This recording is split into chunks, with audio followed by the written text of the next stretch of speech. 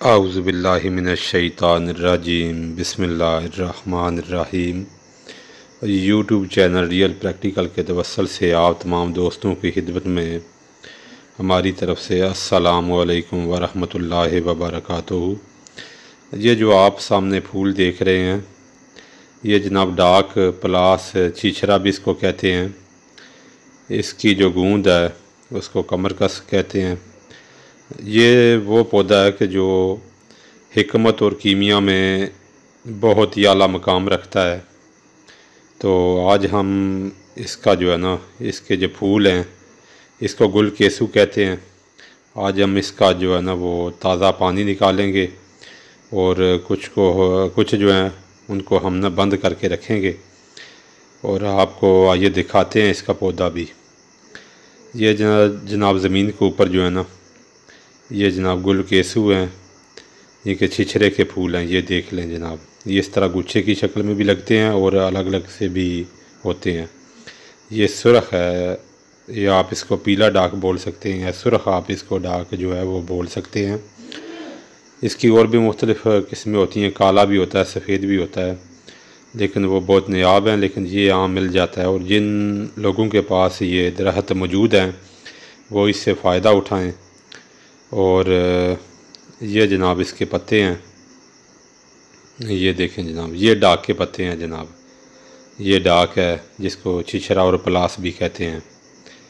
तो जिन लोगों के पास ये पौधे मौजूद हैं, वो इनके फूल इकट्ठे कर लें, क्योंकि ये तिब में और कीमिया में बहुत ही ज़्यादा अहमियत के अमल हैं।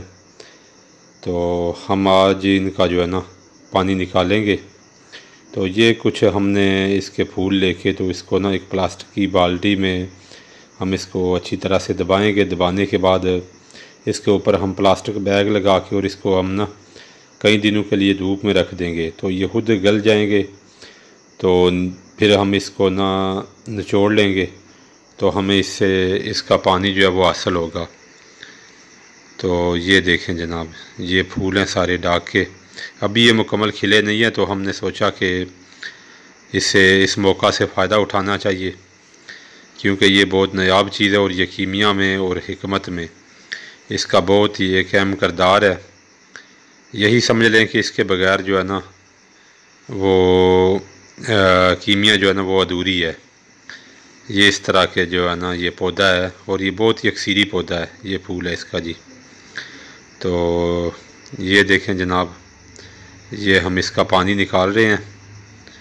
तो आज रोज़ा भी है और गर्मी भी है काफ़ी।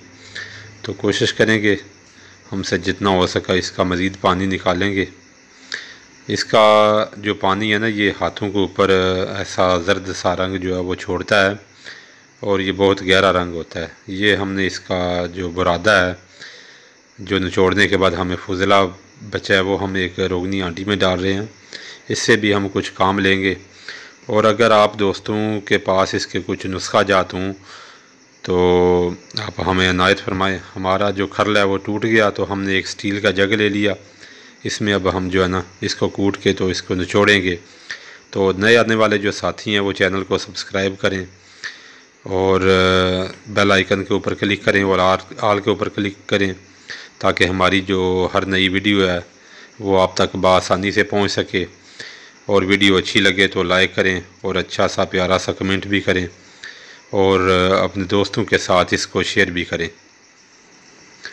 तो ये जनाब एक कपड़ा हमने ले लिया। तो अब हमने जो ये स्टील के जो बर्तन में हमने जो फूल, फूलों का जो नुकदा सा बनाया, अब हम इसके ऊपर डालेंगे और फिर हम इसको निचोड़ेंगे तो ये है रहा ताज़ा पानी।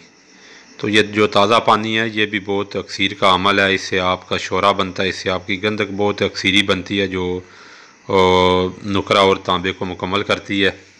इसके अलावा इससे जो है ना, वो आपकी वर्किया जो वो मोम होती है। इसके अलावा ये आपकी नुशादर बहुत आला अक्सरी बनाता है। इससे आपकी फटकड़ी जो है ना, और ये शंगरफ को टाकी पास करता है।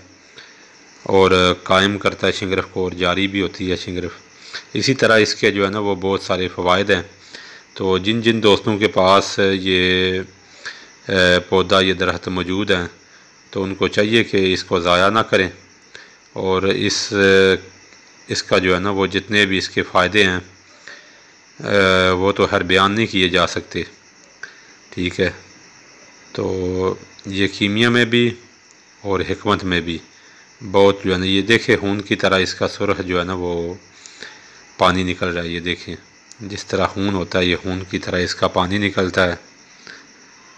तो हमें कुछ तकरीबन तीन चार लीटर की जो है ना, वो ताज़ा पानी की ज़रूरत थी। बाकी हर हम इससे आगे, इससे शोरा भी और इससे फिर कुश्ता कली भी करेंगे। जो कली कली है, इसको भी कुश्ता करेंगे, खुराकी और पुशाकी। और भी इससे जो शोरा है, वो भी कायम करेंगे इससे गंदक बनाएँगे क्योंकि अभी ये काफ़ी है मेरे इलाके में तो। तो कुछ तो दोस्त ऐसे हैं कि जिन्होंने अभी तक बस डाक का नाम सुना है, तिब और हमत में और कीमिया में, लेकिन उनको पता नहीं है तो चलें, वो भी आज की वीडियो में देख लेंगे। तो दोस्त पूछते रहते हैं बाद में कुछ बातें तो इनको चाहिए कि वीडियो को मुकम्मल देखा करें, स्किप ना किया करें। फिर वो जो मज़ीद है ना राज फिर वो रह जाते हैं। तो ये है जनाब, आज हमने बस ये तकरीबन एक हज़ार एमएल के करीब है। तो बस यही हमसे आज निकल पाया। तो इन नेक्स्ट टाइम जो है ना, ये हमने जो फजला है, उसको हमने चूल्हे के ऊपर चढ़ा दिया है और इसमें हमने कुछ दवाइयाँ रखी हैं। जो इन इसके नुकदे के साथ तैयार हो जाएँगी। इसको तकरीबन इतना पकाना है कि जब तक ये ऊपर तक जल ना जाए तो बीचे से बीच में से इन ना चीज़ें जो हमने रखी हैं, वो इन का मुनार निकलेंगी। और अगली इन वीडियो का इंतज़ार कीजिएगा इन आपके लिए हम मज़ीद जो है ना, वो बहुत अच्छी अच्छी वीडियो लेके आने वाले हैं और वो मुकम्मल प्रैक्टिकल होंगे। इसकी सा, इसी के साथ इजाज़त दें। शुक्रिया।